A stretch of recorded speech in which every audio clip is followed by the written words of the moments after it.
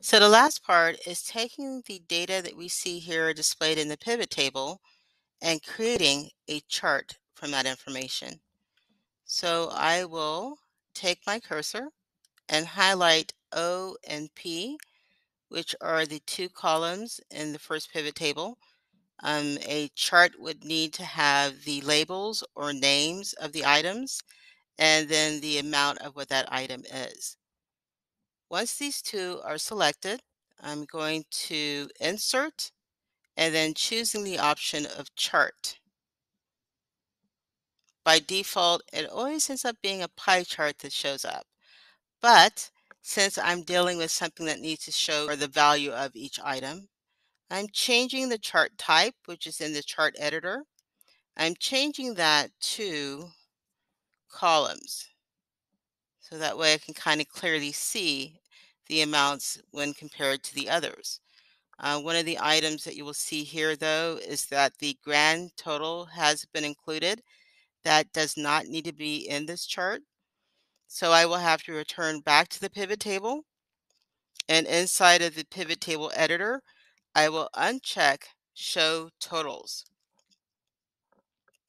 And that removes the grand total option down at the bottom and it gives me a view of what the information on the chart needs to be, which is I can see the different schools at the very bottom, and I'm assuming these are the values for each school.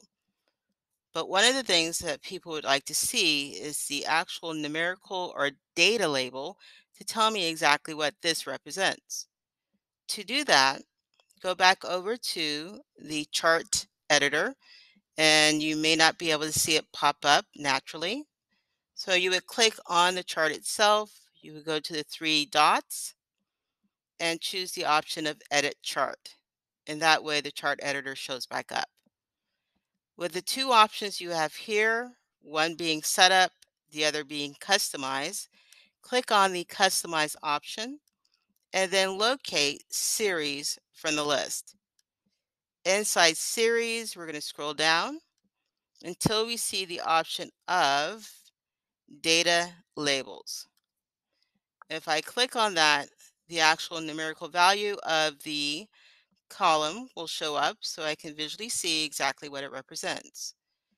In that same area, you also have the ability to customize the look of the actual labels.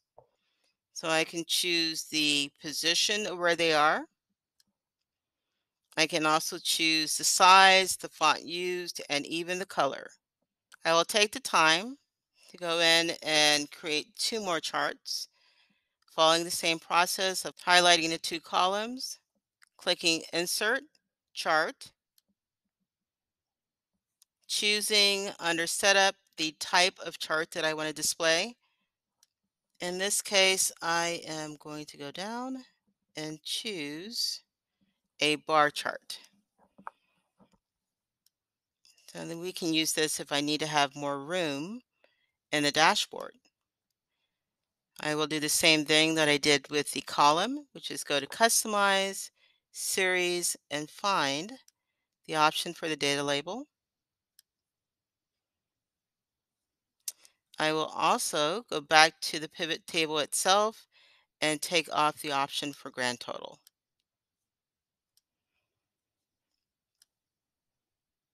I will skip to the last one right here, which is the dates or the number of people who actually registered on a certain date for the conference. Let me take off the grand total first. And then I will go ahead and highlight and insert a chart. This one is perfect the way it is. So it's a line graph and it will show me approximately what has happened over a period of time. Now each of the charts that I have here on the Array Formula tab will need to be moved to the dashboard. So to make the move to the dashboard, you would click on a chart, choose the option of the three dots, and then pick Copy Chart, move to the sheet that we're going to use for our dashboard, click on Edit, mm. and then choose the option of paste. I'm going to change the view. I'm going to zoom out a little bit so it's easier to see the entire page. And then I will click and drag and then resize the chart so that it fits within a space. So I will do the same for the other ones that are located on the Array Formula tab.